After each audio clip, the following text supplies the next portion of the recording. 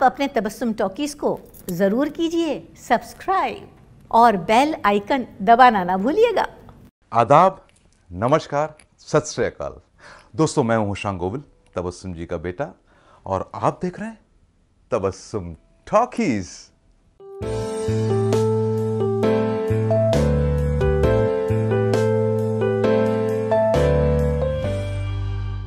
अब तक की बेकारी ने आँख उठाकर हमारी कामयाबी का झंडा देख लिया होगा टिक्की जो हमारी म्यूज़िक कंपनी ने म्यूज़िक मार्केट के सीने पर गाड़ दिया है।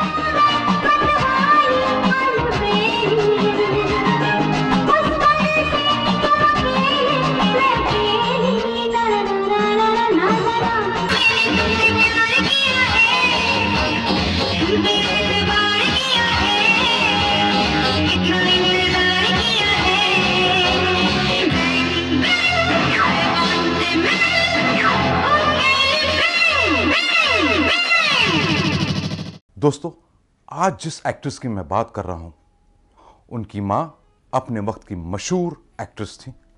उनकी बेटियाँ भी एक्ट्रेस हैं और वो खुद भी एक्ट्रेस हैं और वो हैं द ब्यूटिफुल, गॉर्जियस मुन मुन सेन। आज तुमसे माफ़ी मांगने नहीं, तुम्हें माफ़ करने आई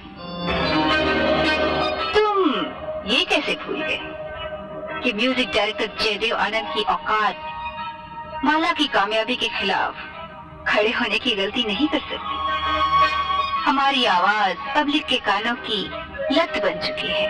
तुम जो मिले तो फूल खिले मेरे दिल की बिगड़ी दिल मेरी मंजिल मुझे 28 मार्च 1954 में मुनमुन सेन पैदा हुई थी। कोलकाता में एक बंगाली हिंदू परिवार में। उनके पिता का नाम था दीबानाथ सेन और वो कोलकाता के बहुत बड़े बिजनेसमैन थे। और ऑफ़ कोर्स ये तो सभी जानते हैं कि उनकी माँ का नाम था सुचित्रा सेन, जो हिंदी और बंगाली फिल्म्स की सुपरस्टार थी।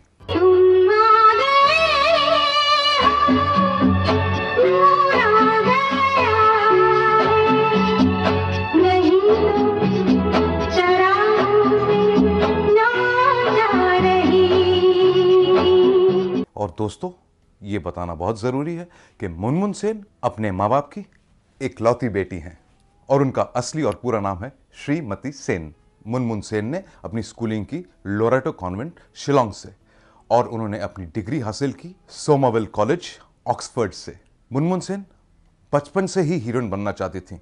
वो अपनी माँ से बहुत इम्प्रेस थी, लेकिन उनकी माँ सुचित्रा सेन नहीं चाहती थी कि वो एक्टिंग करें। वो चाहती थी कि मुनमुन सेन पढ़ाई लिखाई करें और मुनमुन सेन ने ऐसे ही किया। पढ़ाई लिखाई कंप्लीट करने के बाद मुनमुन सेन की माँ ने उनकी शादी कर दी 1978 में। और दोस्तों, हम आपको ये बता दें कि मुनमुन सेन की मदर इन लॉ यानी ईला देवी, जयपुर की महारानी गायत्री देवी जी की बड़ी बहन थी। मुनमुन सेन के पति का नाम है भरत देव वर्मा और उनकी दो बेटियाँ हैं, रायमा सेन और रिया सेन। दोस्तों, शादी के बाद और दोनों बेटियाँ होने के बाद मुनमुन सेन को लगा कि उनके एक्ट्रेस बनने का सपना सपना ही रह जाएगा। वो कहती हैं कि अगर मेरे पति ने मुझे सपोर्ट नहीं किया होता तो मैं एक्ट्रेस नहीं बन पाती। दोस्तों हम आपको बता दें कि मुनमुन सेन की पहली फ़िल्म का नाम था अंदर बाहर जो आई थी 1984 में। और उस फ़िल्म में उनके ऑपोजिट थे जैकी श्रॉफ आपको फ्यूज ठीक करना आता है? फ्यूज जी अचानक लाइट चली गई है और क्या है कि घर में कोई नहीं है। अच्छा। जी। चलिए। है मेरा मौसम बड़ा सुहाना है। अच्छा जी। हाँ, इसका एक अफसाना है। अच्छा जी। इस फ़िल्म में मुनमुन सेन का काम लोगों को बहुत पसंद आया और इसके बाद उन्होंने कई फ़िल्में साइन कर ली जैसे मुसाफिर जाल वो फिर आएगी और हंड्रेड डेज़। देवी तो लग रहा है? बहुत अच्छा है। कहाँ से खरीदा? कहीं से भी हो। पर उस दुकान में सिर्फ़ एक ही पीस था। तो मुझे जलाने की क्या ज़रूरत थी? क्यों? और नहीं तो क्या? लाने ही था तो दो पीस लेकर आती। ये क्या बचपना है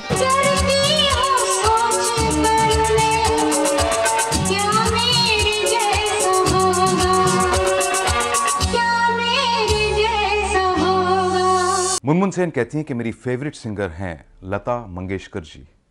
और मैं बहुत खुशनसीब हूँ कि लता जी की होम प्रोडक्शन में मुझे काम करने का मौका मिला। और वो फ़िल्म थी लेकिन जो आई थी 1991 में। और ये? जोगिया right very nice why don't you wear it? मैं हाँ।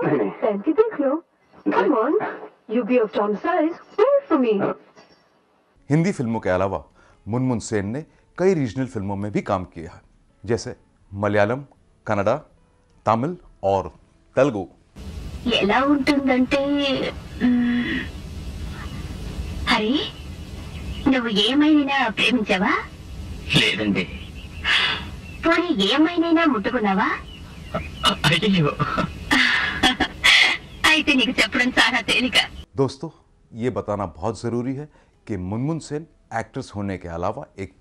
बहुत अच्छी पेंटर भी है और उन्होंने बाकायदा पेंटिंग की तालीम हासिल की है।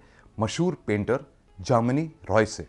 इसके अलावा उन्होंने पॉलिटिक्स में भी अपना हाथ आजमाया और काफ़ी हद तक कामयाब भी रहीं। दोस्तों, हम आपको पहले ही बता चुके हैं, उनकी दो बेटियाँ हैं, रिया सेन और रैमा सेन। और वो दोनों अपनी नानी और माँ के नक्श कदम पर चल रही हैं और दोनों अच्छी एक्ट्रेस भी हैं। मुनमुन सेन आजकल फ़िल्मों में भी काम कर रही हैं सोशल वर्क भी कर रही हैं और बच्चों को पेंटिंग्स करना भी सिखाती हैं। तो दोस्तों, ऐसी बातें भी मैं आपके साथ शेयर करता रहूँगा। अरे, आप बस देखते रहिए तबसुम टॉकीज। करते रहिए लाइक शेयर और सब्सक्राइब